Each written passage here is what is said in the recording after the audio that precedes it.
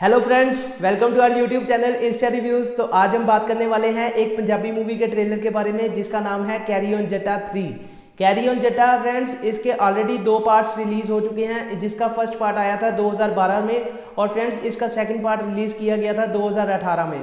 तो फ्रेंड्स, इसकी फ्रेंचाइजी की सक्सेसफुल को देखते हुए फाइनली इसका फ्रेंड्स थर्ड पार्ट की अनाउंसमेंट हुई थी और उसके बाद फ्रेंड्स, इसका फाइनली ट्रेलर आ चुका है हमारे सभी के सामने। और फ्रेंड्स, काफ़ी मज़ेदार ट्रेलर था। जिस जिसने इसका ट्रेलर नहीं देखा है फ्रेंड्स, आप यूट्यूब पर जाकर इसका ट्रेलर ज़रूर देखें। लेकिन आगे बढ़ने से पहले, अगर कोई भी इस चैनल पर नया आया है तो इस चैनल को सब्सक्राइब ज़रूर करें और बेल आइकन को ज़रूर दबाएँ।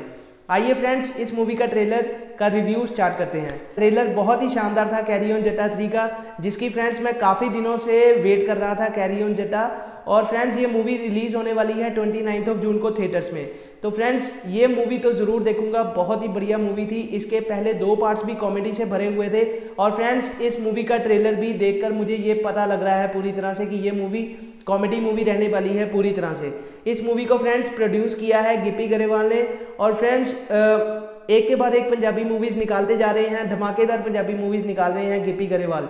Gippy Grewal friends star cast वही लिया गया है, पहले दो मूवीज़ वाला और इसमें फ्रेंड्स कुछ पुराना स्टार कास्ट है और कुछ नया स्टार कास्ट भी ऐड किया गया है। जिसके, जैसे कि फ्रेंड्स इसमें पुराने स्टार कास्ट में अगर देख लें तो बीनू ढिल्लो भी थे, बीनू ढिल्लो, गिप्पी गरेवाल और जसविंदर बल्ला जी करमजीत अनमोल फ्रेंड्स वही आपको स्टार कास्ट देखने को मिलेगा। लेकिन फ्रेंड्स इसमें लेडी रोल में सोनम बाजवा आपको न्यू कमर नज़र आ जाएँगी न्यू एक्टर नज़र आ रही हैं लीड रोल में। और उसके बाद फ्रेंड्स आपको नासिर चिनौती जी कॉमेडी में नज़र आ जाएँगे, जो कि आजकल फ्रेंड्स हर दूसरी तीसरी पंजाबी मूवी में हमको नज़र आ रहे हैं।